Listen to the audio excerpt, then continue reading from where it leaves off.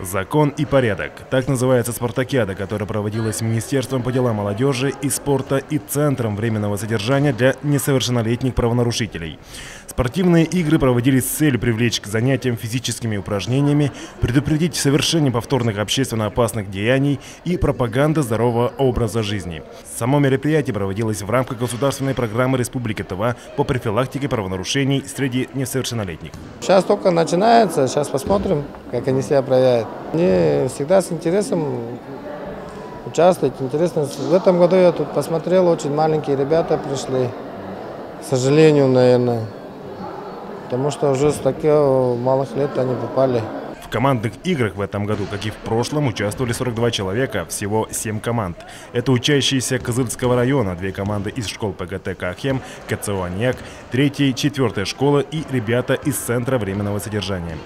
Среди участников есть ребята, которые участвуют не первый год и имеющие определенный спортивный опыт в этих играх. Все виды соревнований.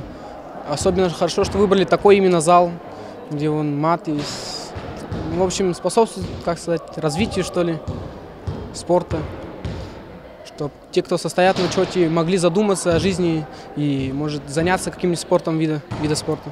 Лучше вот, так, вот такие соревнования, побольше бы таких соревнований. Очень отрадно отметить, что вот в течение трех лет э, именно повторные правонарушения, то есть дети, которые повторно помещаются в наш центр, это снижается за 4 месяца. У нас снижение составило на 20%, а прошлый 15 год на 39%. Значит, детям эта спартакиада нравится, дети уже выводы, итоги для себя делают, что э, надо дружить с законом, а не переступать этот закон. В программу соревнований были включены прыжок в длину с места в две попытки с каждого члена команды, пять бросков мяча в баскетбольную корзину с линии штрафного броска, игра в дартс по наибольшей сумме очков, игра в шашки по круговой системе, подтягивание на турнике, комбинированная эстафета и притягивание каната среди всех участников команд.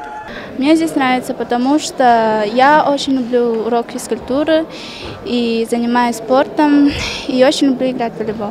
8 часов у нас мы встаем, так, 22 часа отбой у нас. В течение дня они, у них пятиразовое питание, э, в течение дня занимаемся э, с детьми, э, проводим профилактические беседы на правовую тематику, ходим на прогулки, э, творчеством занимаемся.